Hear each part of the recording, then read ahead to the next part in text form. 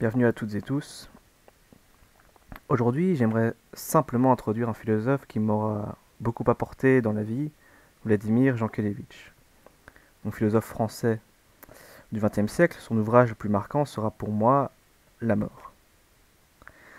Alors, pourquoi ce thème de la mort? Premièrement, pour une raison de simplicité pour moi, car c'est le sujet de mon mémoire, mais aussi et surtout car c'est un sujet qui m'a toujours fasciné. Ça m'a toujours étonné quand je parlais à mes amis de la mort, qu'aucun d'entre eux ne s'en inquiète réellement. C'est pour plus tard, c'est comme dormir. Pourquoi m'en inquiéter Je n'y peux de toute façon rien. C'est vrai, tout ce qu'ils m'ont dit est vrai, mais je persévère et je continue de penser que notre rapport à la mort n'est pas une chose anodine et qu'il faut le travailler. Ce n'est pas au bord de la mort, quand nous avons toute notre famille et nos amis réunis autour de notre lit, qu'il faut commencer à penser à ce que nous allons devenir après trépas. Ainsi, comment nous rendons-nous compte de ce qu'est la mort? Eh bien, demander à des enfants ce qu'est la mort, ils comprennent très bien, à partir de 7-8 ans. Et pourtant, le savent-ils vraiment? Je pense, avec Jean Kelevitch, que la mort est un savoir assez spécial, puisque ce n'est pas comme mesurer des distances, mesurer la pression atmosphérique, ou même étudier le corps humain. La mort est une loi universelle, nous le savons tous, mais il y a quelque chose qui relève de la prise au sérieux sur laquelle Jean Kelevitch insiste. Je cite D'un mot, l'homme est frappé par le malheur, prend désormais la mort au sérieux. Prendre conscience du sérieux de la mort, c'est d'abord moduler du savoir abstrait et notionnel à l'événement effectif. Ne dit-on pas d'ailleurs réaliser? Réaliser, c'est, paradoxalement, s'éloigner de la vérité et passer de l'évidence raisonnable, mais non convaincante, à une évidence opaque mais vécu.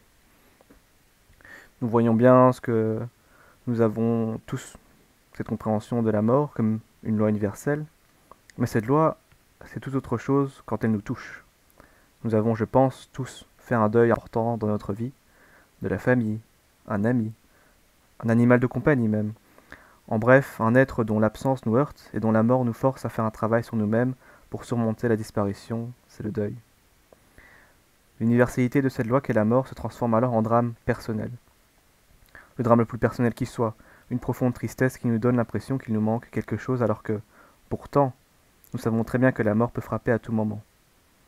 Après tout, l'homme est assez vieux pour mourir dès qu'il naît.